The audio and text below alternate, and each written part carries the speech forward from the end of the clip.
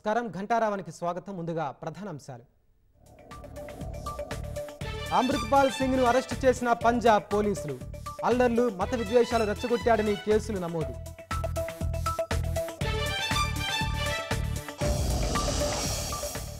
నేడు రాష్ట్ర వ్యాప్తంగా యువజన కాంగ్రెస్ ఆందోళన. ఈటిల ఆరోపణలపై క్షమాపణలు చెప్పాలని డిమాండ్.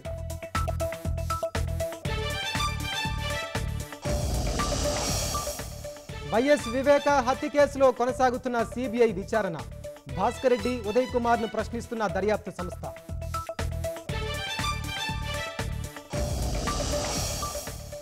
ఆంధ్రప్రదేశ్ నుంచి రాష్ట్రంలోకి జోరుగా ఇసుక దందా.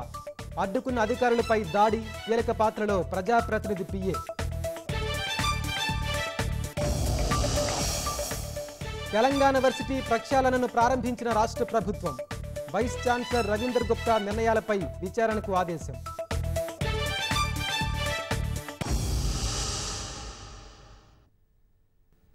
పరారీలో ఉన్న ఖలిస్తానీ సానుభూతిపరుడు వారిస్ పంజాబ్ దే అధినేత అమృత్పాల్ సింగ్ ఎట్టకేలకు పోలీసులకు చిక్కాడు. పంజాబ్లోని మోగా పోలీసులు అమృత్పాల్ను అరెస్టు చేశారు. గత నెల పద్దెనిమిది నుంచి పరారీలో ఉన్న అమృత్పాల్ కోసం ముమ్మర వేట కొనసాగించిన పంజాబ్ పోలీసులు ముప్పై ఏడు రోజుల తర్వాత పట్టుకున్నారు. పంజాబ్లో ఎలాంటి హింస తలెత్తకుండా అమృత్పాల్ను అసోంకు తరలిస్తున్నారు. ఖలిస్తానీ సానుభూతిపరుడు వారిస్ పంజాబ్ దే సంస్థ చీఫ్ అమృత్పాల్ను పంజాబ్ పోలీసులు చాకచక్యంగా పట్టుకున్నారు. గత కొన్ని రోజులుగా అమృత్పాల్ కోసం విస్తృతంగా గాలిస్తున్న పంజాబ్ పోలీసులు ఎట్టకేలకు అరెస్టు చేశారు. మోగా జిల్లాలోని ఓ గురుద్వారాలో ఉన్నట్లు పక్కా సమాచారం అందుకున్న పోలీసులు వలవేసి పట్టుకున్నారు. అమృత్పాల్ అరెస్టు నేపథ్యంలో ప్రజలందరూ శాంతి భద్రతలు పాటించాలని పోలీసులు విజ్ఞప్తి చేశారు. ఎలాంటి అసత్య వార్తలు సృష్టించవద్దని కోరారు. పంజాబ్లో హింస చెలరేగకుండా అమృత్పాల్ను అసోంలోని దిబ్రూగఢ్ జైలుకు తరలించనున్నట్లు పోలీసులు తెలిపారు. జాతీయ భద్రతా చట్టం కింద అమృత్పాల్ను అరెస్టు చేసినట్లు పంజాబ్ పోలీసులు వెల్లడించారు. ఇదే చట్టం కింద అమృత్పాల్ ఎనిమిది మంది అనుచరులు కూడా దిబ్రూగఢ్ జైలులోనే ఉన్నారు. అమృత్పాల్ అరెస్టు కోసం పంజాబ్ పోలీసులు జాతీయ నిఘా సంయుక్త సంస్థలు కార్యాచరణ చేపట్టి చివరకు పట్టుకున్నాయి.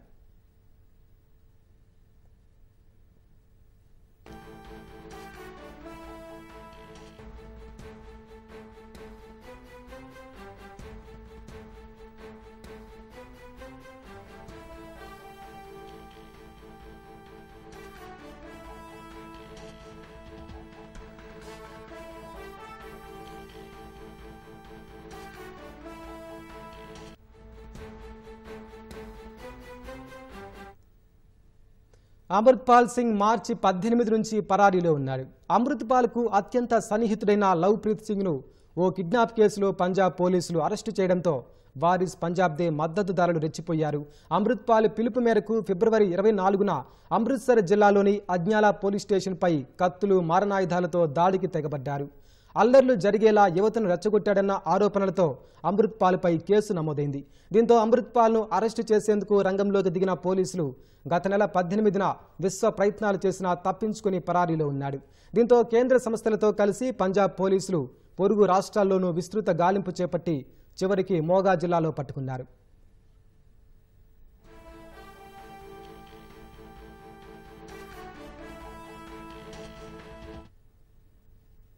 ఏడాది క్రితం వరకు అనామకుడిగా ఉన్న అమృత్పాల్ వారిస్ పంజాబ్ దే వ్యవస్థాపకుడు దీప్ సిద్ధు మరణంతో వెలుగులోకి వచ్చాడు.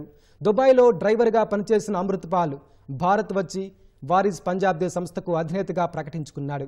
మొదట్లో దీప్ సిద్ధు కుటుంబ సభ్యులు అనుమతించకపోయినా కొద్ది రోజుల్లోనే అమృత్పాల్ పేరు మారుమోగిపోయింది.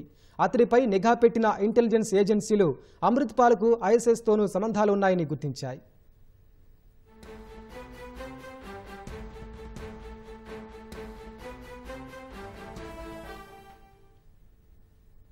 కాంగ్రెస్ పార్టీపై భాజపా నేత ఈటెల రాజేందర్ చేసిన ఆరోపణలు ఉపసంహరించుకోవాలని డిమాండ్ చేస్తూ నేడు రాష్ట్ర వ్యాప్తంగా యువజన కాంగ్రెస్ ఆధ్వర్యంలో ఆందోళన చేపట్టనున్నారు. రాజేందర్ క్షమాపణలు చెప్పాలని కాంగ్రెస్ ఆందోళన చేపట్టనుంది. మునుగోడు ఉప ఎన్నిక సందర్భంగా బారాస్ నుంచి కాంగ్రెస్కి ఇరవై ఐదు కోట్లు వచ్చాయంటూ ఈటెల రాజేందర్ ఆరోపించారు. వాటిపై ఇప్పటికే కాంగ్రెస్ నేతలు ఆగ్రహం వ్యక్తం చేస్తున్నారు. ఆరోపణలు నిరూపించాలంటూ నిన్ననే రేవంత్ రెడ్డి చార్మినార్ భాగ్యలక్ష్మి ఆలయంలో ప్రమాణం చేశారు. మునుగోడు ఉప ఎన్నికల్లో సీఎం కేసీఆర్ కాంగ్రెస్ పార్టీకి ఇరవై ఐదు కోట్లు ఇచ్చారనే విషయం బహిరంగ రహస్యమేనని మాజీ పార్లమెంట్ సభ్యులు జితేందర్ రెడ్డి అన్నారు. ఆ విషయంపై కాంగ్రెస్ నేతలే చర్చించుకుంటున్నారని పేర్కొన్నారు. ఉన్న మాటంటే రేవంత్ రెడ్డికి ఉలికెందుకని ప్రశ్నించారు. కాంగ్రెస్కి డబ్బులిచ్చి పదవులు కొనుక్కోవడం ఆనవాయితీగా మారిందన్నారు.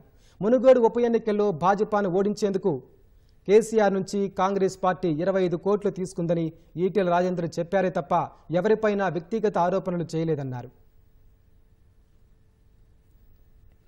కేంద్ర హోంశాఖ మంత్రి అమిత్ షా నేడు రాష్ట్ర పర్యటనకు రానున్నారు. భాజపా పార్లమెంటు ప్రవాస్ యోజనలో భాగంగా రంగారెడ్డి జిల్లా చేవెళ్ళలో నిర్వహించే విజయ సంకల్ప సభలో పాల్గొననున్నారు. ఢిల్లీ నుంచి ప్రత్యేక విమానంలో సాయంత్రం ఐదు గంటలకు శంషాబాద్ విమానాశ్రయానికి చేరుకుని అక్కడి నుంచి రోడ్డు మార్గం ద్వారా చేవెళ్ళకు బయలుదేరి ఆరు గంటలకు చేరుకుంటారు. పార్లమెంటు ప్రవాస్ యోజనలో భాగంగా చేవెళ్ళలో నిర్వహించే విజయ సంకల్ప సభలో ముఖ్య అతిథిగా పాల్గొని కార్యకర్తలను ఉద్దేశించి ప్రసంగించనున్నారు. రాత్రి ఏడు గంటలకు సభ ముగించుకుని రోడ్డు మార్గం ద్వారా శంషాబాద్ విమానాశ్రయానికి చేరుకుంటారు. ఏడు గంటల యాభై నిమిషాలకు ప్రత్యేక విమానంలో తిరిగి ఢిల్లీకి పయనమవుతారు.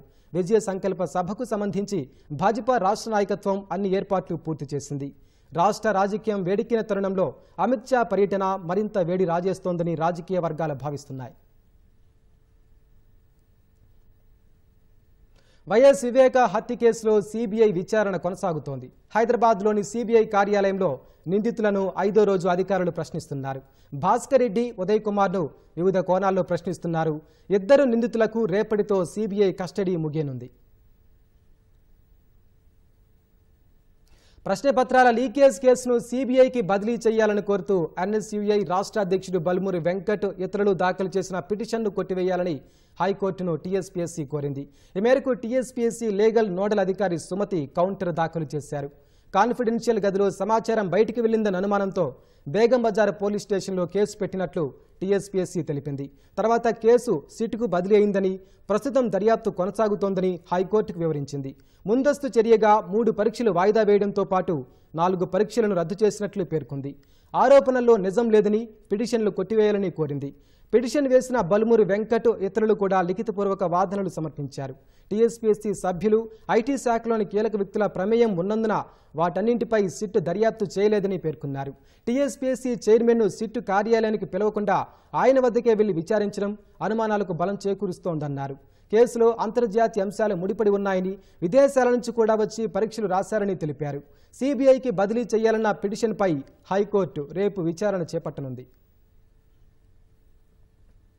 మూసీ ప్రక్షాళన కోసం పాదయాత్ర చేపడతామని సొసైటీ ఫర్ ఎర్త్ జస్టిస్ అనే స్వచ్ఛంద సంస్థ నిర్వాహకులు తెలిపారు. మూసీ జలాలతో పండించే కూరగాయలు మూసీ నీటితో పండించిన గడ్డి విషపూరితంగా మారుతున్నాయని పేర్కొన్నారు. గ్రాసం తిన్న పశువులు ఇచ్చే పాలు మానవాళికి సైతం ఎంతో ప్రమాదకరమని దీనికి మూసీ నీటి ప్రక్షాళనే పరిష్కారమని society for earth justice chairman ఆచార్య వెంకటదాస్ అన్నారు. ఇప్పటికైనా ప్రభుత్వం మూసీ జలాల ప్రక్షాళన కోసం చొరవ తీసుకోవాలని ప్రభుత్వానికి విజ్ఞప్తి చేశారు. ఈ మూసీ పరివాహక ప్రాంతంలో ఉన్నటువంటి ఈ కాలుష్యం వల్ల హైదరాబాదే పాడైపోతుంది. మనం కూరగాయలు తింటున్నాం. ఈ కూరగాయలు ప్రధానంగా మనకు బాటసింగాల నుంచి అక్కడ వండే కూరగాయలే హైదరాబాద్ మొత్తం సప్లై అవుతుంది. గోదావరి దగ్గర వండే కూరగాయలు సరిపోవు మనకు. ఆ కూరగాయలు మొత్తం విష విష పదార్థాలు ఉన్నాయి. సో మనం అంటే డబ్బులు ఇచ్చి మనం రోగాలు కొనుక్కుంటున్నాం ప్రస్తుతం ఈ కలుషితమైనటువంటి నీళ్ళ ద్వారా ఆ పంటలు తింటే రోగాలు వస్తాయి. ఆ రోగాలను నయం చేసుకోవడానికి ముప్పై నుంచి నలభై శాతం సంపాదించిన సంపాదన నుంచి ఖర్చు పెట్టుకోవాల్సిన పరిస్థితి ఏర్పడుతుంది. చందనోత్సవం సందర్భంగా స్వామి నిజరూపాన్ని చూసేందుకు సింహాద్రి అప్పన్న దర్శనానికి భక్తులు పోటెత్తారు. అయితే వీఐపీల తాకిడితో తీవ్ర ఇబ్బందులు పడుతున్నారు. గంటల కొద్దీ క్యూ లైన్లలోనే వేచి చూస్తున్నారు. అధికార యంత్రాంగం వీఐపీల సేవలో తరిస్తూ సామాన్యులను నిర్లక్ష్యం చేస్తోందని భక్తులు మండిపడుతున్నారు. ఇన్ని ఇబ్బందులు పెట్టే బదులు అసలు దర్శనానికి రావద్దని చెబితే సరిపోతుంది కదా అని ఆగ్రహం వ్యక్తం చేస్తున్నారు. అక్కడ టికెట్లు అడిగిన వాళ్ళు లేరు అసలు ప్రోటోకాల్ అబ్జర్వ్ చేసిన వాళ్ళు లేరు. మాకు కూడా it took nearly three hours చాలా దురదృష్టకరం. ఎప్పుడు కూడా మేము ఈవెన్ తిరుపతి వెళ్ళినా కానీ మాకు అటెండర్ ఉంటారు చక్కగా దర్శనం చేయిస్తారు. ఇక్కడ అటువంటి పరిస్థితి లేదు చాలా ఇబ్బందులు పడ్డాం. నేను I totally blame the revenue department and police department for uh, the total failure. ఆదివారం సెలవన్ సంగతి తెలుసు. ముందు రోజు సాటర్డే సెలవన్ సంగతి తెలుసు. వీళ్ళకి రెగ్యులర్గా వచ్చే ట్రెడిషనల్ పిలిగ్రిమ్స్ ఉంటారు. వాళ్ళతో పాటు ఎడిషనల్గా వస్తారనుకునే చెప్పు అడిగేటప్పుడు ఎడిషనల్గా ఎందుకు అలర్ట్ చేయకూడదు? మీకు ఇంకో విషయం చెప్పాలి. ప్రసాదం స్కీమ్ కింద సెంట్రల్ గవర్నమెంట్ నుంచి యాభై ఎనిమిది కోట్లు వచ్చింది. ఏం చేశారండి? కనీసం వీళ్ళకి భక్తులకి సంబంధించిన ఇన్ఫార్మ్ వాళ్ళకి సదుపాయాలు కల్పించడంలో కూడా ఫెయిల్ అయితే ఎలాగా? నేను వచ్చినప్పటి నుంచి చూస్తున్నానండి. ప్రతి ఒక్కరు బాధపడుతున్నారు. అమ్మా ఇదేంటమ్మా అమ్మా ఇదేంటమ్మా? అనకూడదు కానీ అధికార పార్టీలో ఉన్న ఎమ్మెల్యేలు ఎంపీలే వెనక్కి వెళ్ళిపోయారట. అది ఇక్కడ దుస్థితి.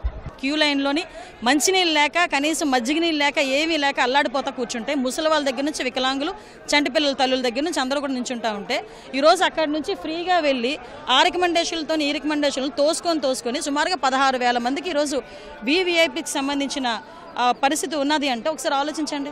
లోపల లిటరలీ తోసుకుంటున్నారు తోసుకుంటున్నారు లిటరల్గా. చిట్టీలు చింపుకొని డబ్బులు తీసుకుని గల్లాపెట్టలో వేసుకుంటారా?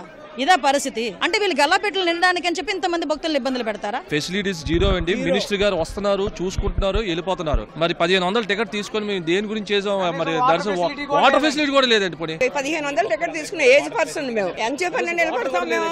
నిలబడలేం కదా. అందరూ అరవై దాటిన వాళ్ళమే అదే పదిహేను వందల టికెట్ల కంటే పోలీసులు రికమెండేషన్ చేసి పంపించిన వాళ్ళు లేకపోతే మామూలుగా వాళ్ళ డిపార్ట్మెంట్ వాళ్ళు పంపించిన వాళ్ళు వీళ్ళు ఎక్కువైపోయారు. పదిహేను వందల టికెట్కి ఇంతసేపా? మరి ఇక్కడ ఏర్పాట్లు చేసిన వాళ్ళు ఎవరు తెలియదు ఎవరు రికమెండేషన్ ఉంటే ఆ ముందు నుంచి గర్భగుడి దగ్గర నుంచి ఎంట్రన్స్లో నుంచి ఇష్టాసారం యాభై యాభై మంది వెళ్ళిపోతుంటే ఆ పోలీసులు రికమెండ్ ఎవరు పోలీస్ డిపార్ట్మెంట్లో వస్తే వాళ్ళు యాభై యాభై మంది పంపించేస్తారు. లేదా ఒక గుడి తాలూకాలు ఎవరు వస్తే వాళ్ళకి యాభై మంది ఎమ్మెల్యే వెనకాల వచ్చి వాళ్ళకి యాభై మంది అలా యాభై యాభై యాభై మందిని ఆ ఎంట్రన్స్ నుంచి పంపించేస్తే డైరెక్ట్ ద్వారంలోంచి మరి మిగతా వాళ్ళు ఏ విధంగా ఈ భక్తులకి ఎంతసేపు లైన్లో ఉండాలి? సామాన్య భక్తులకి పెద్దపేట వేస్తారని చెప్పి ఎటువంటి పెద్దపేట వేయలేదండి. వెరీ వెరీ ఇంపార్టెంట్ అని చెప్పేసి పదిహేను రూపాయల టికెట్ తీసుకొని కనీసం వాటర్ సౌకర్యం ఏర్పాటు చేయలేదండి. ప్రోటోకాల్ విఐపి కోసం మమ్మల్ని ఆపడేశారు మొత్తం అంతా మేము భక్తులమే కదా. మంచినీళ్ళు అయ్యా మేమీ లేవండి లైన్లో. ముందు మమ్మల్ని పంపించిన ప్రోటోకాల్ విఐపి సరిపోతుంది అంతే అండి. మిగతా ఏది లేదు. పదిహేను వందల రూపాయలు ఇవ్వటం టికెట్ ఇవ్వటం దీనికి ఇచ్చినాక లైన్లో పెట్టేసి ఆపేస్తే ఎంతసేపు లైన్ కదిలే ప్రసక్తి లేదు. ఇక్కడ మరీ దారుణమైన అరేంజ్మెంట్స్ ఉన్నాయి. వీవీఐపీలకి ఒక ప్రత్యేకమైన స్లాట్ ఏర్పాటు చేసినా ఇప్పటి వరకు సరిగ్గా మమ్మల్ని ఆదరించే విధానం అయితే ఇది ఏమాత్రం కరెక్ట్ లేవు. ఏర్పాట్లు అనేవి సరిగ్గా లేవు. అరేంజ్మెంట్స్ అనేవి ఇంకా ఇంప్రూవ్ అవ్వాలి చాలా. చిన్నపిల్లలతో ఉంటే ఇబ్బంది పడుతున్నాం. అసలు ఎటువంటి అసలు దర్శనం అవుతుందా లేదనే కన్ఫ్యూజన్లో ఉన్నామండి మేము. మంచినీళ్ళు కాదు కదా ఏమీ లేవండి. ఏమీ లేవు పాప కనీసం బిస్కెట్ ప్యాకెట్ కూడా ఎవరు ఇచ్చే ఇది లేదు. కొనుక్కుంటామంటే ఆ ఇది కూడా కల్పించట్లేదు. చాలా దారుణంగా ఉందండి. అంత వరస్ట్ ఎక్కడ లేదండి. పదిహేను వందలు ఏది లేదు. చాలా దారుణంగా ఉందండి. పిల్లలు వదిలేసి వచ్చాను. ఎందుకంటే మన నవర్లో వెళ్ళిపోతున్న స్లాట్ ఇచ్చారు కదండి. ఏంటంటే ఏది లేదు. ఇంతసేపు అయితే చాలా కష్టపడి ఇంత దారుణంగా ఉంటే త్రీ హండ్రెడ్ నార్మల్ అయితే ఇంకా వెళ్దా వెళ్దామో లైన్లు అండి ఇంకా. వీఐపీల సేవలో ధరిస్తున్న అధికారులు తప్ప సామాన్య భక్తులకి ఏమాత్రం విలువ లేదు. ఎన్ని లక్షల మంది దర్శనాలకు వస్తున్నారు? ఎంతమంది వీఐపీల దర్శనం ఎప్పుడు దానిస్తారు ఆ గాడికి ఎందుకు స్లాట్ ఇవ్వాలి? డబ్బులు మాకు ఊరికి ఏమైనా వస్తున్నాయా? పదిహేను వందల రూపాయలు పెట్టి మేము కొనుక్కొని ఎన్ని గంటలు నిలబడాలి? వీఐపీల సేవ కోసమే స్వామివారి సేవకులు అధికారులు అంతా ఉంటున్నారా? సామాన్య భక్తులు అందరూ వదిలిపెట్టేసేయండి. రాష్ట్రంలో ఇసుక మాఫియా దందా జోరుగా సాగుతోంది. కోదాడ వద్ద పదిహేను లారీలను అడ్డుకున్న టీఎస్ఎండీసీ అధికారులను నెట్టేసిన ఇసుక మాఫియా హైదరాబాద్ దిశగా వాహనాలను తరలించింది. డైల్ హండ్రెడ్కి ఫోన్ చేసిన పోలీసుల స్పందన లేదని టీఎస్ఎండీసీ అధికారులు తెలిపారు. చివరకు ఉన్నతాధికారుల జోక్యంతో ఆరు లారీలపై కేసులు నమోదు చేసినట్లు తెలిపారు. ఈ ఇసుక దందాలో ఉమ్మడి నల్గొండ జిల్లాకు చెందిన ఓ ప్రజాప్రతినిధి పిఏ చక్రం తిప్పుతున్నట్లు తెలుస్తోంది. కొంతకాలంగా ఏపీలోని కృష్ణా పరివాహక ప్రాంతం నుంచి నిత్యం రాత్రి పదకొండు నుంచి తెల్లవారుజామున ఐదు గంటల వరకు సుమారు ఎనభై నుంచి వంద లారీలు ఇసుక తీసుకుని అక్రమంగా తెలంగాణలోకి ప్రవేశిస్తున్నాయి. కోదాడ నుంచి హైదరాబాద్ వరకు జాతీయ రహదారిపై ఉన్న పోలీస్ స్టేషన్లతో పాటు రెవెన్యూ మైనింగ్ రవాణా అధికారులను మేనేజ్ చేయడంతో ఈ అక్రమ దందా యథేచ్ఛగా సాగుతోంది. ఒక్కో లారీలో అరవై ఐదు టన్నుల వరకు లోడ్ చేసుకుని హైదరాబాద్ తెచ్చి లారీని డెబ్బై ఐదు వేల వరకు అమ్ముతున్నారు. ఇలా సగటున రోజుకు అరవై లక్షలకు పైగా ఇసుక వ్యాపారం జరుగుతోంది. శుక్రవారం రాత్రి ఈ వ్యవహారంలో హైడ్రామా నడిచింది. ఆంధ్రప్రదేశ్లోని నందిగామ విజయవాడ నుంచి అక్రమంగా తెలంగాణలోకి ప్రవేశించి హైదరాబాద్లో విక్రయానికి వెళ్తున్న లారీలను తెలంగాణ రాష్ట్ర ఖనిజాభివృద్ధి సంస్థ టీఎస్ఎండీసీ అధికారులు కోదాడ సరిహద్దుల్లో పట్టుకున్నారు. లారీలను అడ్డుకోవడానికి మీకేం అధికారం ఉందని ఏపీ ఇసుక మాఫియా వారిని దబాయించింది. సుమారు పదిహేను లారీల డ్రైవర్లు లారీలకు ఎస్కార్ట్గా వస్తున్న వారు ఐదుగురు అధికారులతో తొలుత వాగ్వాదానికి దిగారు. అనంతరం వారిని పక్కకు తోసివేసి లారీలను హైదరాబాద్ దిశగా నడిపించారు. అధికారులు డైల్ హండ్రెడ్కు ఫోన్ చేయగా కోదాడ పోలీసులు సకాలంలో స్పందించలేదని టీఎస్ఎండీసీ అధికారులు తెలిపారు. వారు ఉన్నతాధికారులకు విషయం చెప్పగా నల్గొండ పోలీసులు కేతేపల్లి పోలీస్ స్టేషన్ పరిధిలో మూడు లారీలను రాచకొండ పోలీసులు చౌటుప్పల్ పరిధిలో మూడు లారీలను పట్టుకుని కేసు నమోదు చేశారు. ఉమ్మడి నల్గొండ జిల్లాకు చెందిన ఓ ప్రజాప్రతినిధి పిఏ అధికారులకు ఫోన్ చేసి ఆ లారీలు పట్టుకోవడానికి మీకేం అధికారం ఉందని బెదిరించినట్లు సమాచారం. లారీలను పట్టుకునే బాధ్యత పోలీస్ రెవెన్యూ వాళ్ళదని వారు చూసుకుంటారని తక్షణం ఆ లారీలను హైదరాబాద్ పంపించాలని హుకుం జారీ చేసినట్లు తెలిసింది. పక్షం రోజుల కింద కేతేపల్లి టోల్ ప్లాజా వద్ద నాలుగు ఇసుక లారీలను పోలీసులు పట్టుకోగా ఆ పిఏ ఫోన్ చేయడంతో లారీలపై ఎలాంటి కేసులు నమోదు చేయకుండా వదిలేశారు. ఈ క్రమంలోనే శుక్రవారం కూడా టీఎస్ఎండీసీ అధికారులు పదిహేను లారీలను అడ్డుకోగా పోలీసులు ఆరు లారీలపైనే కేసు నమోదు నమోదు చేశారు. మిగిలిన వాటిని వదిలేశారు. పోలీస్ రెవెన్యూ మైనింగ్ అధికారులు ఇసుక మాఫియాతో కుమ్మక్కయ్యారని అందుకే అక్రమంగా వస్తున్న ఇసుక లారీలను పట్టుకుని పోలీసులకు అప్పగించాలని క్షేత్రస్థాయిలో పర్యటిస్తున్న టీఎస్ఎండీసీ వర్గాలు తెలిపాయి. ఇతర రాష్ట్రాల నుంచి ఇసుక ఇతర నిషేధిత వస్తువులు తెలంగాణలోకి రాకుండా అంతర్రాష్ట్ర సరిహద్దుల్లోని చెక్పోస్టులే అడ్డుకోవాలి. కోదాడ వద్ద పోలీస్ రవాణా శాఖ చెక్పోస్టులు ఉన్నాయి. వాటి వద్దే ఈ లారీలను తనిఖీ చేసి నిలువరించాలి. వాస్తవానికి టీఎస్ఎండీసీ అధికారులు ఆ చెక్పోస్టులు దాటిన తర్వాతే ఈ ఇసుక లారీలను అడ్డుకున్నారు. ఈ లారీలన్నీ తెలంగాణ రిజిస్ట్రేషన్ వేనని టీఎస్ఎండీసీ అధికారులు తెలిపారు. సుమారు పదిహేను లారీలు వాటి రిజిస్ట్రేషన్ నంబర్ ఆధారంగా భవిష్యత్తులో టీఎస్ఎండీసీ నుంచి ఇసుకను రవాణా చేయకుండా వెబ్సైట్ వెబ్సైట్లో బ్లాక్ చేశామని చెప్పారు. తెలంగాణ విశ్వవిద్యాలయం ప్రక్షాళన ప్రారంభమైంది. అక్రమ నియామకాలు నిధుల ఖర్చులో అవినీతి ఇష్టారాజ్యంగా మారిన పాలనపై ప్రభుత్వం దృష్టి సారించింది. ఉపకులపతి తీసుకున్న నిర్ణయాలతో విభేదించిన పాలక మండలి పాలనాపరమైన వ్యవహారాల పర్యవేక్షణకు తొలిసారిగా ఉపసంఘాన్ని నియమించింది. అలాగే వీసీ రవీంద్ర గుప్తా నిర్ణయాలపైన విచారణకు ఆదేశించింది. తెలంగాణ విశ్వవిద్యాలయంలో చోటు చేసుకున్న పరిణామాలపై ఉన్నత స్థాయికి అందిన ఫిర్యాదులపై సర్కార్ చర్యలు చేపట్టింది. నిబంధనలు పాటించకుండా నియమాలు పదోన్నతులు తీరుపై ఆరోపణలు రావటమే కాకుండా ఏడాదిన్నర కాలంగా పాలక మండలి భేటీ లేకపోవడం బడ్జెట్ ఆమోదం లేకుండానే భారీ వ్యయాలు చేశారంటూ విమర్శలు వచ్చాయి. కొంతకాలంగా జరిపిన వివిధ కొనుగోళ్ళలో అక్రమాలు జరిగాయంటూ ఈసీ సభ్యులు విద్యార్థి సంఘాలు ఫిర్యాదు చేశారు. ఈ పరిణామాల పర్యవసానంగా ఇటీవల హైదరాబాద్లో జరిగిన తెలంగాణ విశ్వవిద్యాలయం పాలక మండలి భేటీ భేటీలో ఉన్నతాధికారులు కీలక నిర్ణయాలు తీసుకున్నారు. రిజిస్ట్రార్ను మార్చడమే కాకుండా బీసీ నిర్ణయాలతో పూర్తిగా విభేదించారు. పాలనాపరమైన వ్యవహారాల పర్యవేక్షణకు ఉన్నతాధికారులు ఉపసంఘాన్ని ఏర్పాటు చేశారు. పూర్వ రిజిస్ట్రార్ ఆచార్య నసీంతో పాటు ఈసీ సభ్యులుగా ఉన్న రవీందర్ రెడ్డి వర్సిటీ ప్రిన్సిపల్ ఆరతి రిజిస్ట్రార్గా బాధ్యతలు చేపట్టిన ఆచార్య యాదగిరి కలిసి బృందంగా పనిచేయాల్సి ఉంది. పాలనను గాడిలో పెట్టే చర్యల్లో భాగంగా ఈ ఉపసంఘం పాలనలో అవసరమైన నిర్ణయాలు తీసుకుని వారానికోసారి పాలక మండలి ఎదుట ఉంచాలనేది ఆలోచనగా చెబుతున్నారు. ఇదే జరిగితే ఉపకులపతిగా ఉన్న రవీందర్ గుప్తా అధికారాలు నామమాత్రం కావటమే కాకుండా ఆయన అధికారాలకు కత్తెర వేసినట్లేనని అభిప్రాయం వ్యక్తమవుతోంది. ఉపకులపతి ప్రమేయం లేకుండా పాలన ఆయన అధికారాలను తగ్గించడం సాధ్యమయ్యే నిర్ణయాలేనా అనే చర్చ సైతం మొదలైంది. ఇప్పటి వరకు వీసీ తనకున్న విశిష్ట అధికారాలతో పరిపాలనా పదవులు కేటాయించడం వర్సిటీకి కావలసిన వస్తువులు కొనుగోలు చేశారు. ఇప్పుడు ఆయా విషయాలకు దూరంగా ఉంచేలా పాలక మండలి నిర్ణయించింది. ఈ నిర్ణయాలతో ఈసీ సమావేశం నుంచి ఆగ్రహంతో బయటకు వెళ్ళిపోయిన ఉపకులపతి రానున్న రోజుల్లో ఎలాంటి వైఖరితో ఉంటారని అనేది ఆసక్తికరంగా మారింది. విశ్వవిద్యాలయానికి సంబంధించి వివిధ కార్యకలాపాలు నిర్వహించడానికి ప్రత్యేకంగా ఒక కమిటీని ఏర్పాటు చేయడం జరిగింది. ఆ కమిటీ ఆధ్వర్యంలో విశ్వవిద్యాలయానికి సంబంధించిన పరిపాలనా నిర్ణయాలు తీసుకోవాల్సి ఉంటుంది ఇక నుండి రాబడి వ్యయాలకు సంబంధించిన బడ్జెట్ ఆమోదం ఫైనాన్స్ కమిటీలో మరియు ఏసీ మీటింగ్లో జరగాల్సి ఉంటుంది. అయితే గత ఈసీ సమావేశంలో ఆ అంశాలను చర్చించలేదు. ఇప్పుడు రాబోయే ఈసీ సమావేశంలో బడ్జెట్ ఆమోదం కోసం మనం ఎజెండాను తయారు చేసుకొని ఈసీ సమావేశం నిర్వహించుకోవాల్సి ఉంటుంది. అందుకు సంబంధించిన అవకతవకలు జరిగినట్లయితే సంబంధిత వ్యక్తులకు వ్యక్తులు బాధితులు కావడానికి అవకాశం ఉంటుంది. అదే ముఖ్యంగా మనం బడ్జెట్ ఆమోదం గురించి మాట్లాడుకుంటున్నాం కాబట్టి బడ్జెట్ ఆమోదం ప్రధానమైనటువంటి అంశంగా ఉంటుంది.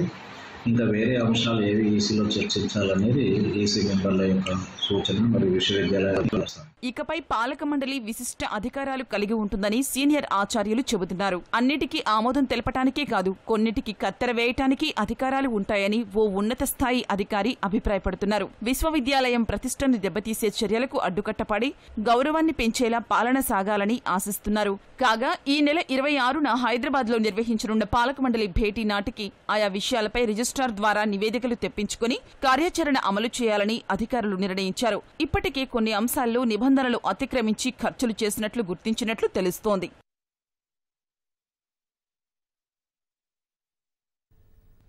భాగ్యనగరాన్ని వరుస అగ్ని ప్రమాదాలు వెంటాడుతున్నాయి. హైదరాబాద్ శివారు శంషాబాద్ మున్సిపాలిటీ పరిధిలోని ఓటపల్లి వద్ద ఎలక్ట్రికల్ బైక్ షోరూంలో అగ్ని ప్రమాదం చోటు చేసుకుంది. అగ్నిమాపక యంత్రాల సహాయంతో మంటలు ఆర్పివేశారు. షార్ట్ సర్క్యూట్ కారణంగా మంటలు అంటుకుని ఉండొచ్చని అధికారులు ప్రాథమిక నిర్ధారణకు వచ్చారు. ప్రమాదంలో ఐదు ఎలక్ట్రికల్ బైకులు పూర్తిగా కాలిపోయాయని తెలిపారు. ఘటనా స్థలానికి చేరుకున్న పోలీసులు కేసు నమోదు చేసుకుని దర్యాప్తు చేస్తున్నారు. జమ్మూ కశ్మీర్ మాజీ గవర్నర్ సత్యపాల్ మాలిక్ సీబీఐ నోటీసులు ఇవ్వడంపై కాంగ్రెస్ తీవ్రంగా స్పందించింది. సత్యపాల్ మాలిక్ నిజాలు మాట్లాడకుండా నోరు మూసుకోవాలని నోటీసుల ద్వారా సంకేతాలు పంపిందని ఆరోపించింది. మోదీ తనపై వచ్చిన ఆరోపణలను తొందరగా తొక్కిపెడతారని మాలిక్ విషయంలో పది రోజులు ఎందుకు పట్టిందో తెలియదని ఎద్దేవా చేసింది. సత్యపాల్ మాలిక్ ఏం తప్పు చేశారని సిబిఐ నోటీసులు ఇచ్చిందని కాంగ్రెస్ ప్రశ్నించింది. కొందరు అక్రమాలకు పాల్పడినట్లు మాలిక్ ఆరోపణలు చేస్తే నిందితులకు కాకుండా ఆయనకు సీబీఐ నోటీసులు పంపడం విడ్డూరంగా ఉందని కాంగ్రెస్ తెలిపింది. పుల్వామా దాడికి ముందు జవాన్లకు ఉగ్రవాదుల నుంచి ముప్పు పొంచి ఉందని చెప్పినా కేంద్రం పట్టించుకోలేదని మాలిక్ సంచలన ఆరోపణలు చేశారు. జమ్మూ కాశ్మీర్ గవర్నర్గా ఉన్నప్పుడు రెండు బీమా కంపెనీలు తనకు మూడు వందల కోట్ల లంచం ఇవ్వచూపినట్లు మాలిక్ ఆరోపించారు. ఆ కేసుకు సంబంధించి వివరణ కోరుతూ సీబీఐ ఆయనకు సమన్లు పంపింది. అందమైన జుంకాలు ఆకట్టుకునే వస్త్రాలు తలుకులీనే ఆభరణాలు సుగంధాలు వెదజల్లే దీపాలు. ఇలా ఒకటేమిటి? కళ్ళు మిరుమిట్లు గొలిపే ఎన్నెన్నో హై లైఫ్ ఫ్యాషన్ ఎగ్జిబిషన్లో కొలువుదీరాయి. హైదరాబాద్లోని ఓ హోటల్లో ఏర్పాటు చేసిన ఈ ఫ్యాషన్ ఎక్స్పో నేటి తరాన్ని ఎంతగానో ఆకట్టుకుంటోంది. లెహంగాలు మొదలు జీన్స్ జాకెట్ల వరకు బ్రేస్లెట్ కంకణాల వరకు అన్నింటినీ ఒకే చోట చేర్చి అందిస్తున్న హై లైఫ్ ప్రదర్శనకు నగరవాసుల నుంచి మంచి స్పందన లభిస్తోంది. ఇవాల్టితో ఈ ఫ్యాషన్ ఎక్స్పో ముగియనుంది. హైదరాబాద్ మాధాపూర్లోని ఓ హోటల్లో హై లైఫ్ పేరిట వస్త్రాభరణాల ప్రదర్శన ఏర్పాటైంది. వేసవికాలాన్ని దృష్టిలో పెట్టుకుని అందుకు తగిన విధంగా కొత్త కలెక్షన్లను ఏర్పాటు చేశారు. సినీ తారలు రాశి సింగ్ పల్లవితో పాటు పలువురు మోడల్స్ ఈ ప్రదర్శనను సందర్శించి సందడి చేశారు. వేసవి సీజన్కు తగిన విధంగా మగువలు ధరించే ఉత్పత్తులు ఇక్కడ అందుబాటులో ఉంచారు. యాక్సెసరీస్ ఆభరణాలు చీరలు డ్రెస్ మెటీరియల్ బ్యాగ్స్ వంటివి ఏర్పాటు చేశారు. అన్ని రకాలైన ఉత్పత్తులను ఒకే చోట అందించడం ద్వారా ఎగ్జిబిషన్లకు మంచి ఆదరణ లభిస్తోందని నిర్వాహకులు అన్నారు.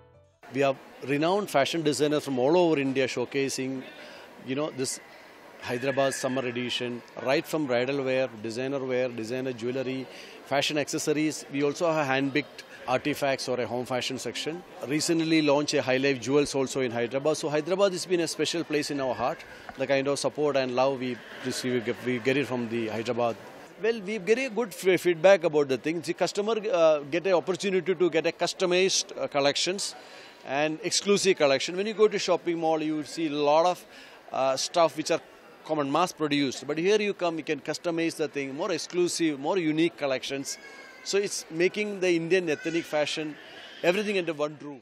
సంప్రదాయ వెస్ట్రన్ మేళవింపుగా ఏర్పాటు చేసిన ఈ ప్రదర్శన చాలా బాగుందని సినీ తార రాశి సింగ్ సంతోషం వ్యక్తం చేశారు. సందర్భానికి తగిన విధంగా దుస్తులు ధరించడం అంటే తనకెంతో ఇష్టమన్నారు. ఇలాంటి ప్రదర్శన వల్ల నచ్చిన డ్రెస్లను ఒకే చోట ఎంపిక చేసుకునే సౌలభ్యం ఉంటుందన్నారు. సమ్మర్ టైంలో యాక్చువల్లీ డిపెండ్స్ అది వెడ్డింగ్ ఉంటే ట్రెడిషనల్గా వెళ్ళాలి కదా సో ఈ టైప్లో కొంచెం ఓపెన్ ఫ్రీ ట్రెడిషనల్ కానీ still easy and breezy like how thin this material is like that it's my favorite oh god summertime mein actually we all break out a lot so i think drink a lot and lot a lot of water which is very must for even if you're at home apply a lot of sunscreen please that like two major things you have to do dream project i think andariki dream project is with rajamouli garu అందరు from industry నా whole India not just Telugu Tamil whole India every one wants to work with Rajamouli garu దేశవ్యాప్తంగా మూడు వందల యాభై మంది ప్రముఖ డిజైనర్లు రూపొందించిన కలెక్షన్లతో ఏర్పాటు చేసిన ఈ ప్రదర్శనకు నగరవాసుల నుంచి విశేష స్పందన లభిస్తోంది. కావలసినవి అన్ని ఒకే ప్రదేశంలో దొరకడంతో సమయం మిగులుతుందని వినియోగదారులు ఆనందం వ్యక్తం చేస్తున్నారు.